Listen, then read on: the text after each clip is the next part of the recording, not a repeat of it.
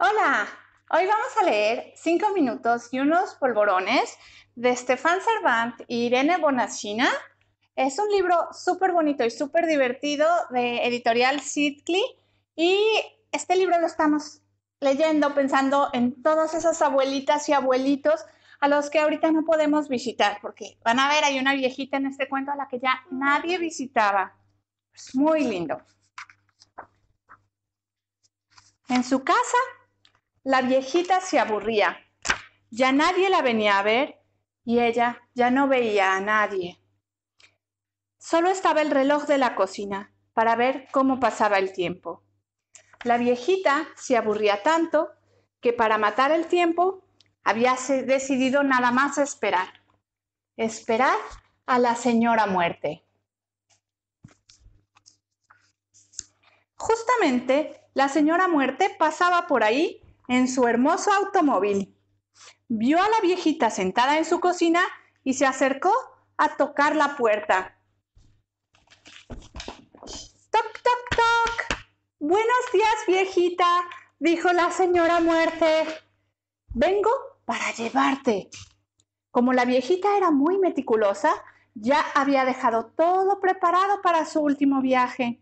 No faltaba más que un detalle. Me cambio de zapatos y voy con usted. Había llegado en su coche rojo. Toc, toc, toc. Hola, viejita. Hola, viejita. Hola, muerte. Para entretener a la señora muerte, la viejita preparó un buen té de China bien cargado.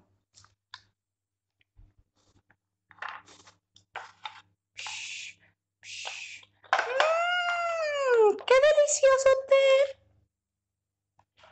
Se alegró la señora muerte, chasqueando la lengua. Es verdad, contestó la viejita, y todavía mejor con unos polvorones de canela. Y para enseñarle a la señora muerte cómo el té y los polvorones iban bien juntos, la viejita preparó unos que perfumaron toda la cocina. Hacía tanto tiempo que no cocinaba La viejita y la señora muerte se dieron tiempo para disfrutar de los polvorones. Cinco minutos más o cinco minutos menos, ¿qué importa? Atraído por el olor de los polvorones, el gato atrigrado de la vecina entró por la ventana. ¡Oh, qué hermoso gato! exclamó la señora muerte, chasqueando la lengua. Es verdad, contestó la viejita. Es tan divertido cuando brinca por todas partes. ¡Miau!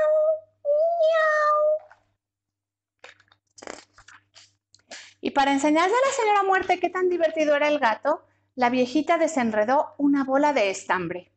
Hacía tanto tiempo que no se reía tanto. La viejita, la señora muerte y el gato atigrado corrieron detrás de la bola de estambre riendo. Cinco minutos más y cinco minutos menos, ¿qué importa? Intrigada por las risas que venían de la casa de junto, llegó Lorenza, la vecina. ¡Oh, qué hermosa niña! dijo sorprendida la señora muerte, chasqueando la lengua. Es verdad, dijo la viejita, y está tan llena de vida cuando juega. A ver, no Mira que está la nena jugando con el gatito. Y para enseñarle a la señora muerte qué tan vital era Lorenza, la viejita trazó una rayuela en el suelo, de la tierra al cielo. Hacía tanto que no jugaba. Rayuela es este juego. En México decimos avión. ¿Cómo dicen en su país? La viejita, la señora muerte, el gato atigrado y Lorenza, la vecina, saltaban de casilla en casilla sin ninguna prisa. ¿Cinco minutos más o cinco minutos menos? ¿Qué importa? Divertida por los gritos que venían de la casa de la viejita, el señor Igor empujó la puerta.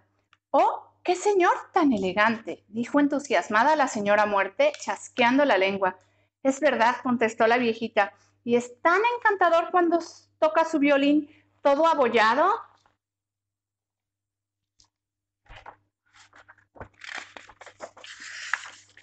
Y para enseñarle a la señora muerte cómo el señor Igor era un músico encantador, la viejita apartó la mesa y las sillas de su cocina. Hacía tanto tiempo que no bailaba. La viejita, la señora muerte, el gato atigrado, Lorenza la vecina y el señor Igor bailaron sin parar danzones, valses y polcas. Cinco minutos más o cinco minutos menos, ¿qué importa? Atraídos por el olor de los polvorones, las risas y los gritos que venían de la casa de la viejita, todos los habitantes del barrio poco a poco fueron llegando. Incluso los hijos y los nietos de la viejita, que ella no había visto hacía ya mucho tiempo. Y la viejita, la señora muerte, el gato atigrado, Lorenza la vecina, Igor el vecino y todos los habitantes del barrio, incluso los hijos y los nietos de la viejita, todos bailaron, jugaron, rieron y cantaron toda la tarde, tanto que la viejita no se dio cuenta de cómo pasaba el tiempo. Cuando sonó la medianoche, la viejita le preguntó a la señora muerte, ¿ya es hora de irnos? Pero la señora muerte estaba muy cansada. Hoy ya es muy tarde. Regresaré otro día. Aprovecha bien el tiempo, viejita. La viejita contempló a la señora muerte alejarse en su hermoso automóvil y agitó la mano para decirle adiós. Hasta pronto. Después, la viejita se dirigió a todos y les dijo, quédense cinco minutos más. Les haré unos polvorones. Este cuento entonces va dedicado a todos eh, los que ya estamos extrañando mucho a los abuelos y no podemos ir a verlos. Y además tenemos aquí la receta de los polvorones. Se las vamos a poner para que las puedan hacer en casa. Solo necesitan mantequilla, sal, azúcar, un huevo, un poquitito de harina y un poco de canela y almendras molidas. Adiós. Adiós.